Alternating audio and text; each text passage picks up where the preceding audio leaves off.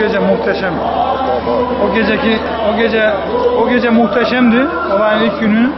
Ama daha sonraki günler birlik beraberlik içinde insanların gerçekten sağcısıyla, solcusuyla, fikri ne, zikri ne olursa olsun insanlar gerçekten birlik beraberlik içinde her gün bu demokrasi bayrağımızı göklere çıkarmak için geceli gündüzü 24 saat insanlar külliyenin önünde nöbet tutuyorlar ve Cumhurbaşkanımız bazı geceler buraya katılıyor, ziyaret ediyor.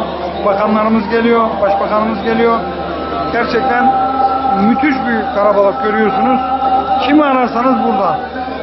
Sayın Bakanımız da Ahmet Bey bizzat e, Kars'ta hemşerilerimizi bu demokrasi nöbetine herkesi davet ettiğini, herkesin katılması gerektiğini her gün mesaj atıyor. Ve bütün Kars'ta hemşerilerimiz her gün burada toplanıyoruz. Bir arada oluyoruz, Kızılay'da buluşuyoruz. Gerçekten coşku içindeyiz.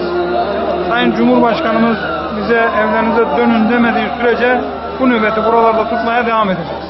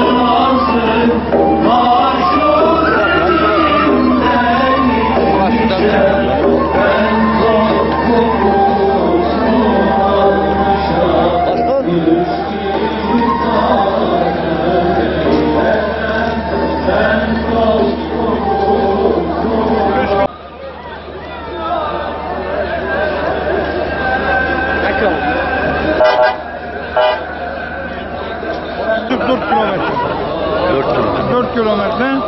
Ve gördüğünüz gibi böyle 24 saat tıklım tıklım insanlarımız, vatandaşlarımız, arkadaşlarımız, dostlarımız herkes bekliyor.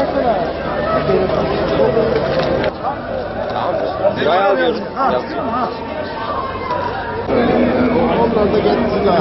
Almaz. Çadır, çadırda da